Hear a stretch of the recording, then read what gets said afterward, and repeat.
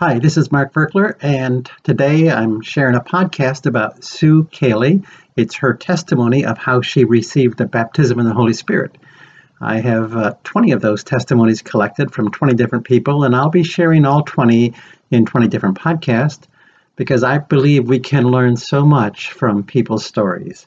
The Bible is a storybook full of real life stories of real life encounters with Almighty God. So let's listen to Sue as she shares her story. The name of her uh, testimony is Multiple Fillings with the Holy Spirit Brought Me Alive. I had been a Christian for about six years, and I was feeling that my heart towards Jesus had grown cold. My prayer life was practically non existent. My walk with the Lord was superficial, and I kept thinking there must be more than this. So I kept sending up prayers to God, asking Him to fill me with the Holy Spirit.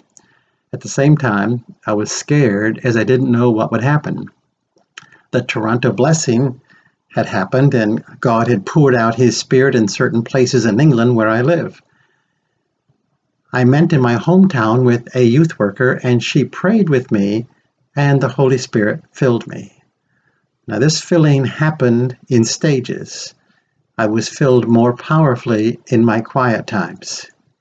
Then, at a conference at Holy Trinity Brompton, God's power went down into my head and through my body, and I felt drunk. I was so hungry for more of Jesus. I felt like I had woken up. I was given a new joy in God, a new love for Jesus that has never left. My prayer life was transformed. I've I received pictures, Bible verses, and I heard the Lord speak to me within. I had a deep desire to encourage other Christians, and I still have. This has gone on for 20 years. At a Christian conference, a lady in a prayer team asked if she could pray for me, and as she prayed, I heard an inner voice which I seemed to know was God the Father. He said, I want you to join in partnership with me to pray for what's on my heart. This urging or inner nudging became so insistent that I just said to God one day, Father, will you show me what's on your heart? And immediately a picture came into my mind of a statue of Jesus standing with his arms opened over a city. Then the Holy Spirit interceded through me with groans and sighs. I had never experienced this before, but I felt like I was in the school of the Spirit. And then I prayed for revival for that place.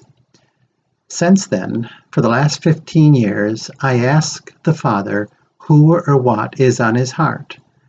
Sometimes I see in my mind the name of a country or people group, like the Aborigines or a people group in China. Sometimes I see in my mind actual people, like the Dalai Lama does in God's heart, which surprised me. Sometimes I feel God's pain in my heart for those whom He leads me to pray for. Sometimes the country will be in the news after I prayed for it. Something I will never forget is Rwanda and the massacre between the tribes there. The Spirit caused me to do physical actions of wrestling for them.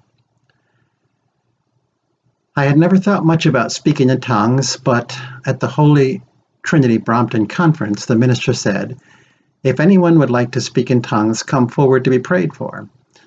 I was hungry for everything God wanted to give me, so I went forward and a lady prayed for me to be given that gift and told me to open my mouth in faith and see what happens. I must admit, I felt embarrassed but I wasn't going to miss out on what God had for me. I went for it and I started speaking in words that I didn't understand. When I talk to God in tongues, He draws near. I also sang in tongues, which sounded beautiful. The notes seemed to come from my heart.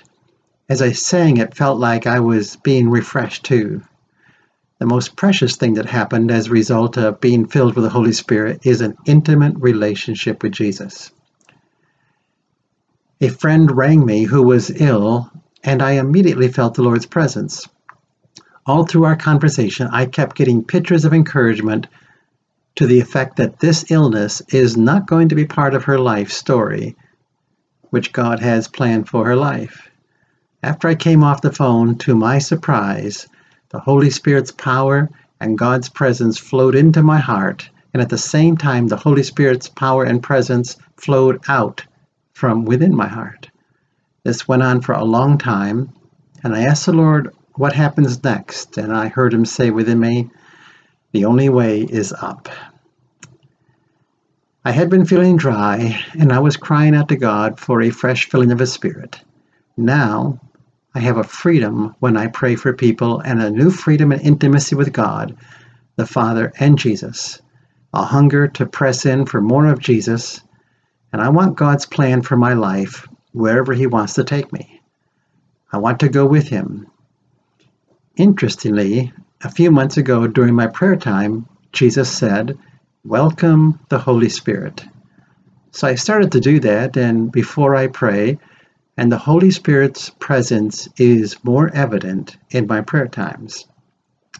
I feel like He is my friend and helper, and I want to be more sensitive to Him. I would say to any believer that the Lord has more for you. Don't settle for little. Keep asking the Lord for more. Press in with boldness.